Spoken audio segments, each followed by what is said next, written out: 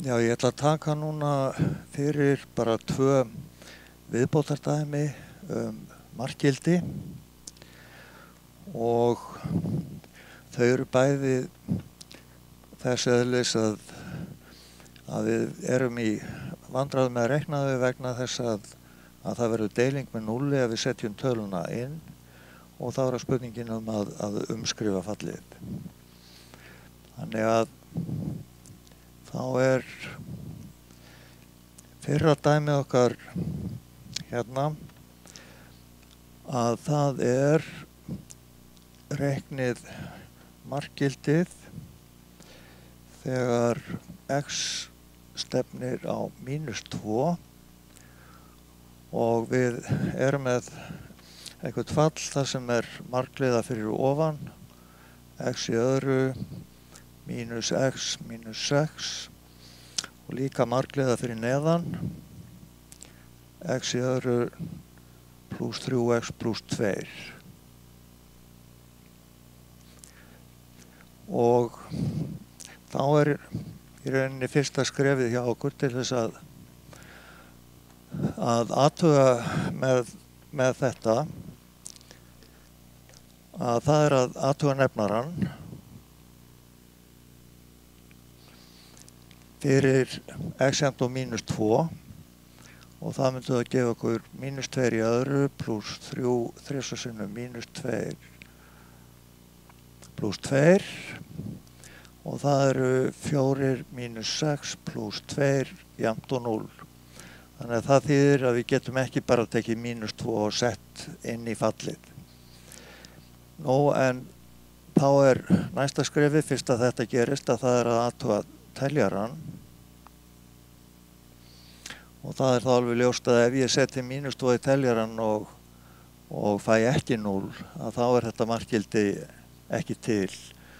Vegna þess að fallið hlítur þá annarkort að e, stefna óvandarlegt eða, eða mínus óvandarlegt hugsanlega breytir þetta eftir því úr hverju áttinni við erum nálgast og við tekum það á teljaranum mínus 2 í öðru mínus mínus 2 mínus 6 og það eru 4 pluss 2 mínus 6 jæmt og 0 og það þýðir að það er von til þess að, að þetta markgildi geti verið til.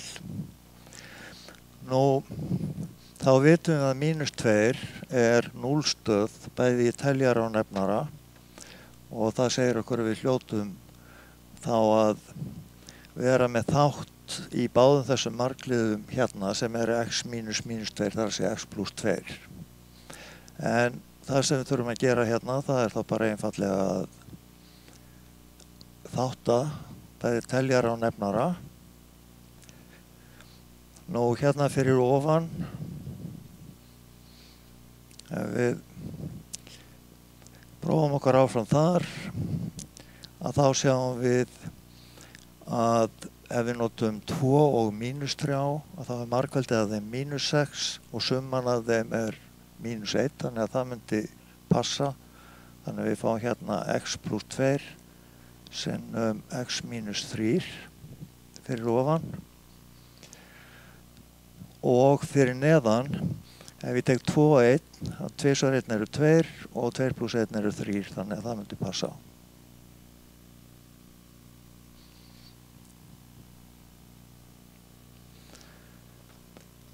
Þannig að þá er ég búinn að þátta þetta en þið sjáuð að um leið og ég vissi að mínus 2 var núlstöð bæði teljar og nefnara að þá vissi ég að þessi þáttur x plus 2 að hann hljótt hlaut að koma fyrir á báðum stöðum.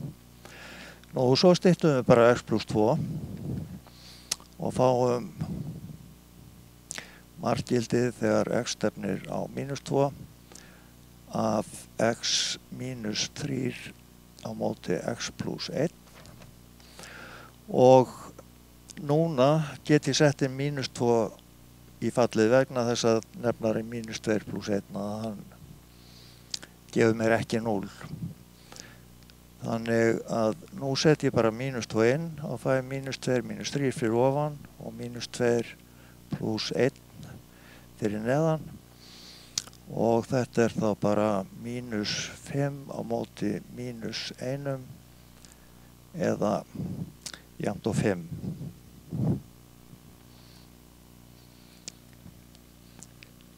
Ok, þannig að þetta var svona standarddæmi þar sem við erum með, með margliður bæði fyrir, fyrir ofan neðan.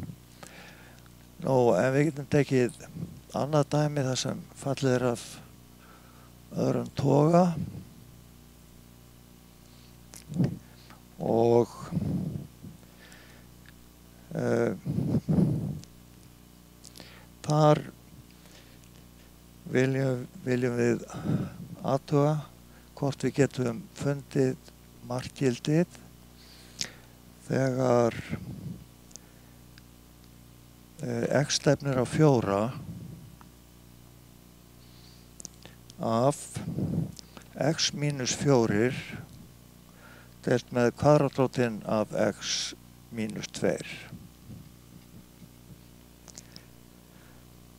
og þá er fyrsta skrifið að það er að skoða hvað gerist ef ég set fjóra inn ef ég setja inn í nefnaran þá er ég með rótin á fjórum sem er 2 mínus 2 þannig að það er 0 þannig að þá er augljóst að ég þarf eitthvað að hafa fyrir því að regna þetta markgildi.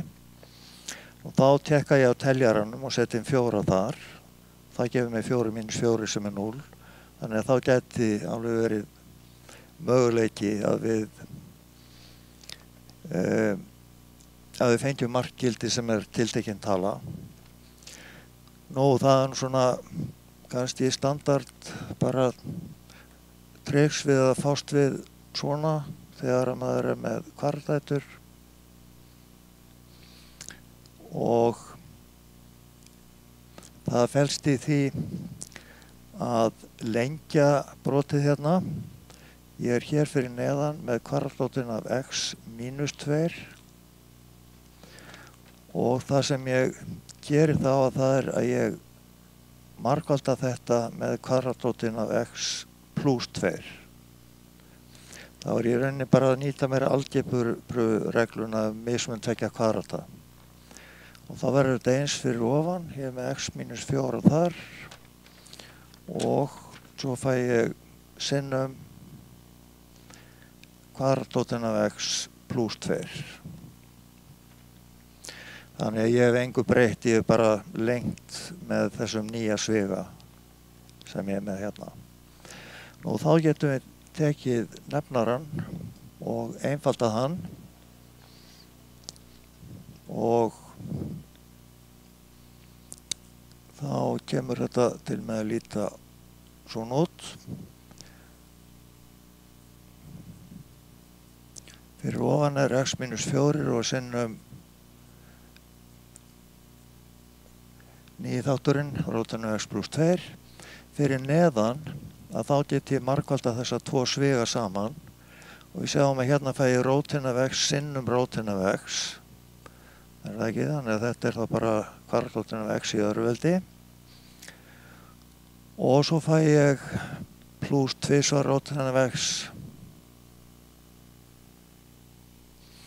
Og svo markvalda ég mínus 2 og fæ mínus tvísvar rótin af x og svo fæ ég mínus tvísvar sinnum 2 sem er þá bara mínus 2 í öðru veldi eða fjórir.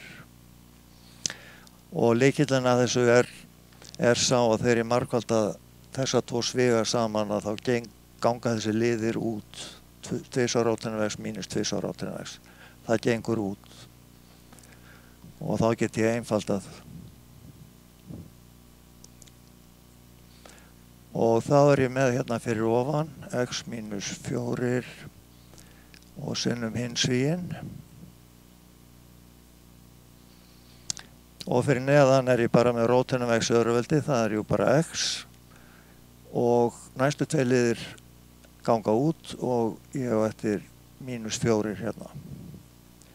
Og þá sjáum við að við getum stitt x mínus fjóra